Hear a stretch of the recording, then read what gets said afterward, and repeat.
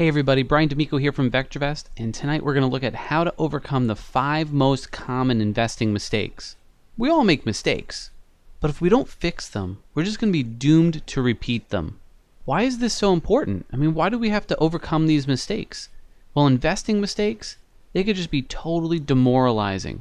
If you keep buying stocks and they drop after you buy them, or you just pour more money into losing positions, maybe you just don't sell stocks when you're supposed to sell them and you watch them turn into losers. If you just keep doing that, it just gets very demoralizing. And if you keep doing that over and over again, of course, it's going to be financially devastating. So today we're going to work on fixing that. What we're going to do first is we're going to identify the mistakes. We're going to look at all five mistakes, go through them one by one, and to do that, we're going to use real life examples. Every week we have a coaching webinar with our clients. And tonight we're going to look at several examples that were brought up last week at that coaching session. And we're going to look at nine specific examples and identify the mistakes that are getting made. While we go through those mistakes, we're also going to see how we can be fixing them. But once we go through them all, I'm going to wrap it all up and I'm going to show you the process that we teach you to fix those mistakes. And of course, once we're all done, I don't want to just leave you with, with that. I want to give you action items so that you know exactly what you should be doing right now. So let's get right to it. Let's look at the first mistake. And mistake number one is that you buy stocks that are in overall downtrends. And by this I mean not just over the past day, I'm talking about over the past month, the past quarter, the past year. And these are stocks that are just going down.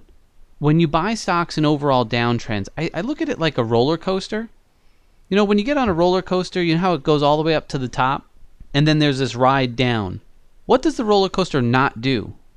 Well, the roller coaster doesn't get back up to the top. It has these little waves down and up, down and up, but it's hitting lower and lower highs. And a lot of times that's going to happen with your stocks. When you get in on stocks that are dropping, they might have little up waves, but a lot of times they're just going to keep hitting lower and lower highs. So let's look at a few examples that were brought to us at this most recent coaching session. All right, first off, we're looking at Dollar General.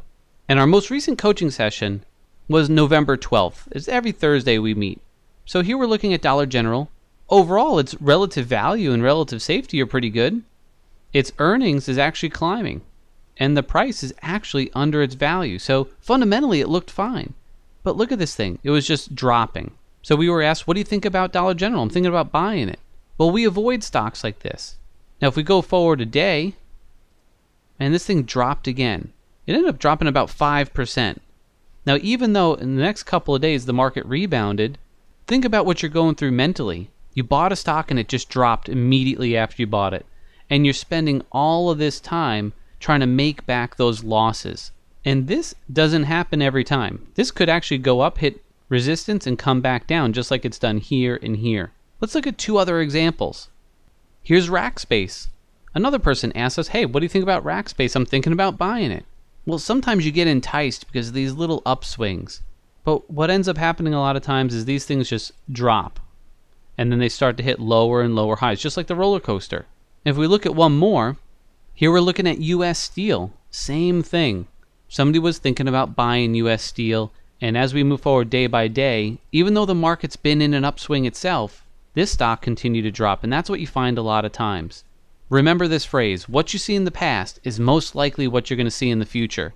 So if this thing's in a downtrend, buying stocks that are in a downtrend typically leads to those positions continuing to fall on you. So let's avoid that mistake. The second mistake that we see people making is not just that they're buying stocks that are going down, but there are times when there are actually good stocks, really good fundamentally sound stocks that have been in an uptrend, but they're going down right now. They just started a downtrend. This is something that's been taught by the gurus out there over and over again that you should buy on the dips. Don't buy while a stock's rising. Wait for it to pull back. You can get it in get in cheaper. So let's go look at two examples from that coaching session. All right, the first one here is NTES. This is a stock that was at the top of our stock viewer many times this year. Had a, has is now having this nice strong rebound. It's got high RV, high RS. Overall, very fundamentally sound stock. So on November 12th, somebody had asked, "Should I buy this?" Well, what do we see? Well, yeah, it did break above an area of resistance. But what do you see is happening that day? The stock while it was having an up day, it was pulling back throughout the day and actually moving lower and lower during the day. And you want to avoid that because that's a bad sign. You don't want to buy stocks that are dropping. So, what we had said was you could do two things. One, wait for it to show that it's going into an uptrend. Either wait for it to open the next day or the day after above where it closes today, or if you want to be even safer, you can wait for it. Let me put another horizontal line here to go above that day's high. Well, if I go forward a day, oh man, it continued to drop. And then the next day, it dropped even further. I believe it ended up being about an 8% drop from when we were talking about it that day.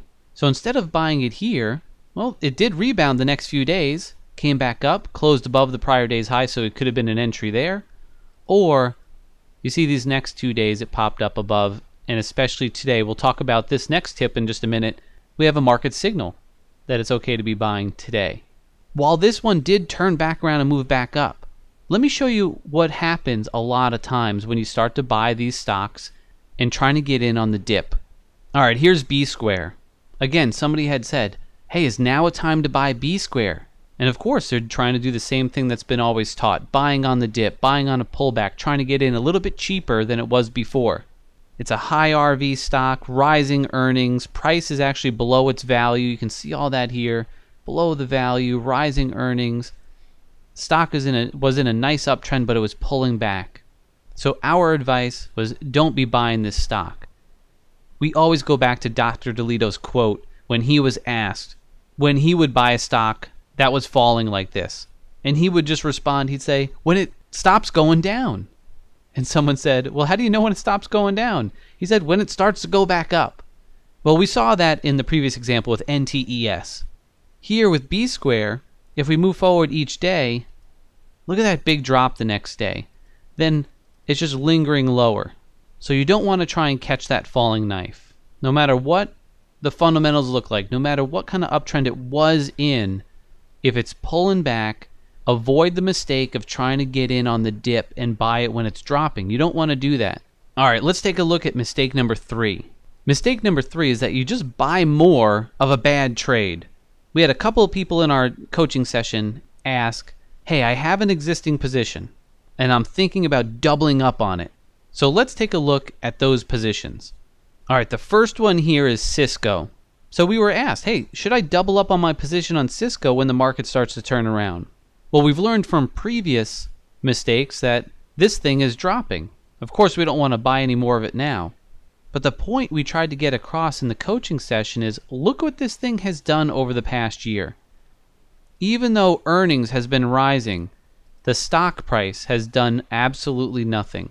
You've got to be like a lawyer or a judge or something where you're presenting a case. And you've got to be able to make a strong case that putting more money into this stock is a better idea than buying shares of a good stock that is actually doing what you want, that's rising in price and in a nice uptrend. And if you can't make a case like that, then you shouldn't put any more money into this. And if we move forward, if we just go forward a day, I mean, look at this thing. It dropped from 28 all the way down to 26 the very next day. And yeah, the thing over the next few days has started to come back, but it hasn't even gotten back to where it was before. And how much confidence do you have in this stock eh, or stocks that look like this that this thing is going to start climbing and hitting higher and higher highs. Remember, what you see in the past is most likely what's going to happen in the future. And if this thing goes up, down, up, down, up, down, up, down like this, most likely in the future it's going to do the same thing.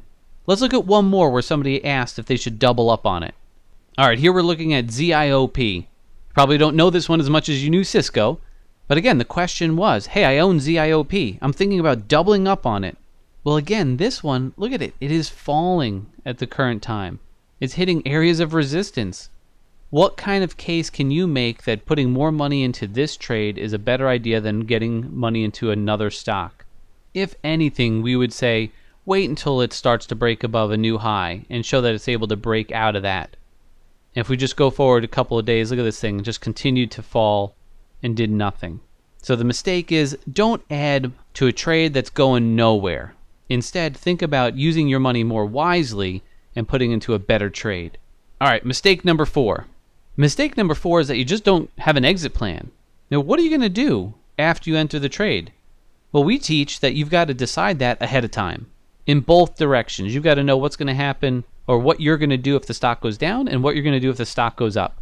In last week's coaching session, there was one specific example that I want to talk about. All right, here we're looking at OBCI. Now, hopefully, you're looking at this saying, well, why did he buy it in the first place? I had no control over the purchase of the stock.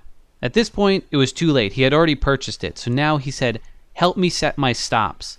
All right, first off, you got to go into the trade with a clear exit strategy. Now, he happened to have purchased the stock down here near the low. So let's just say he bought it. He said he actually bought it at the low, which is great for him, right? So now he's sitting there with a position that had gone from $2.50 all the way up to $3.13. So, roughly about a 25% increase in about a month and a half worth of time. And he came to us saying, Hey, what should I do? Well, we helped him set his exit strategy. In fact, let me just show you what we taught him.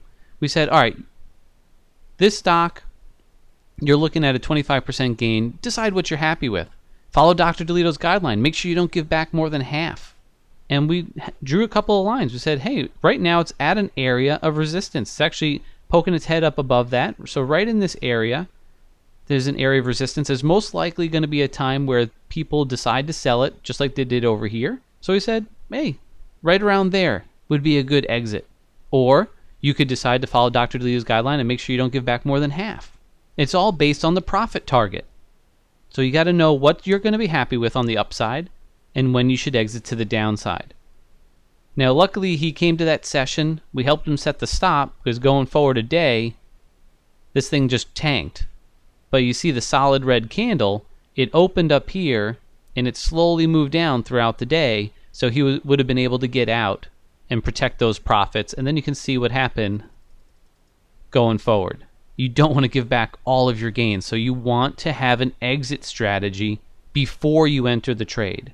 How many times have you let a, a winning trade like this turn around and then you end up selling it at a loss, or maybe you still hold on to it? So avoid that mistake. Go into a trade with an exit. All right, let's look at the last mistake, mistake number five. Mistake number five is the biggest one, and that's you ignore the market's direction.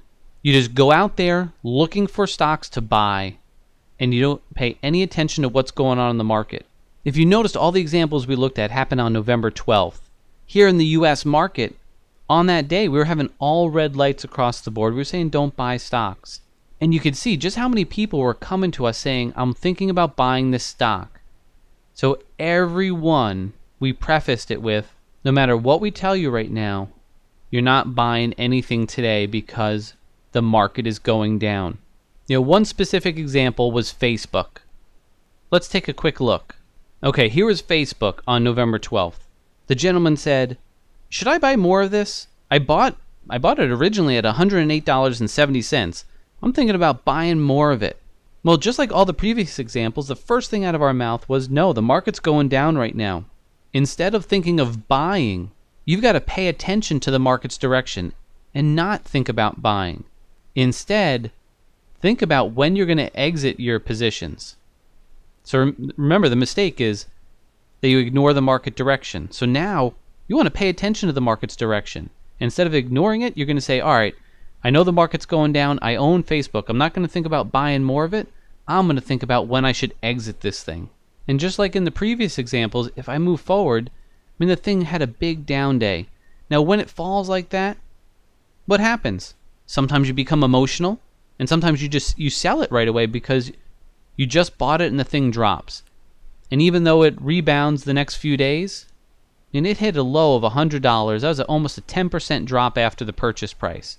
And even though it rebounds like this, a lot of people they sell out down here and they never experience this. So we need to start paying attention to the market direction. Don't buy when it's falling. All right, we just looked at the five big mistakes. Let me ask you a question. I want you to, after this, pause the video for a second and answer this. How could eliminating these mistakes impact you? Just take a second, just write down, maybe identify the ones that you've been making, and answer how could eliminating these mistakes really impact you? Great. Now, knowing about those mistakes, we need to know how we fix it. So we talked a little bit about how fix about how to fix these things as we went through them.